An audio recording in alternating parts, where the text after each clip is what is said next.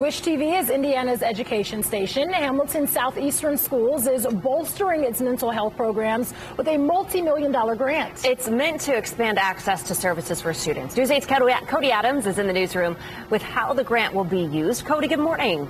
Good morning. This is the largest competitive grant the school district has ever received at more than $5.7 million. It'll be used over the next five years.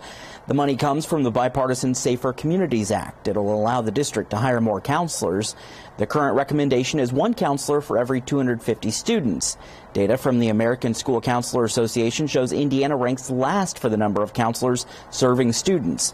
The district will also hire social workers and three more psychologists this year. School leaders hope to continue building on those numbers for the next five years. Brooke Lawson is the mental health and school counseling coordinator for HSE schools. She says this grant will bridge a major funding gap for the schools all kids experience challenges and and you know HSE doesn't get all of the funding that other districts do because we're a relatively affluent community.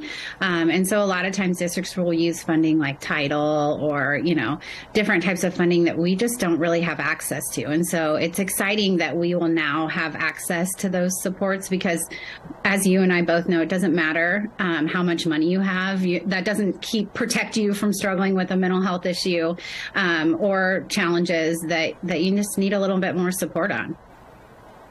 HSE has already received the funds. The district says it will start looking for qualified candidates in the coming weeks.